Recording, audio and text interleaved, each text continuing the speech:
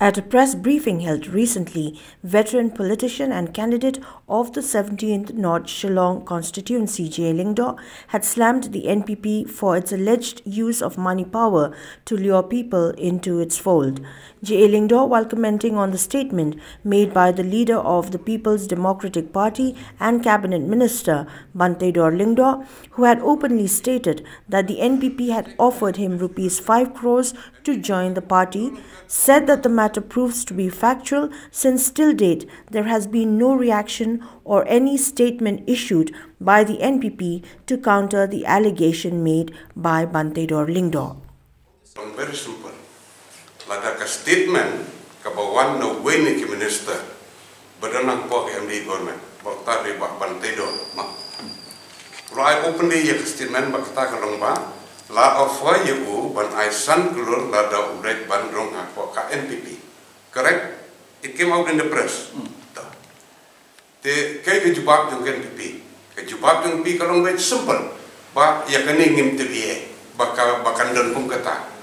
Te la da kamdei ka basisya ka statement ba I da u when the minister but he was offered 5 crores but contest from NPP then why don't you ask him but apologize The Chief Minister himself and the NPP party should have requested him, please apologize through the press because you have given the wrong statement.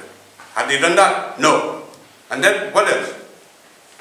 You go to any constituency, like Katsafiliki constituency, pini bayaka distribution of money from the NPP candidate. My God. From where did they get this? Nangno ki collect, kumno ki sampisa, nangno ki yon. Tel lada ki NPP ko ka statement job u, weni ki musta kalong kababakla. Then if you don't ask for apologize, then drop him from the ministry to prove that you are not involved. Right? Drop him. Away. Huh?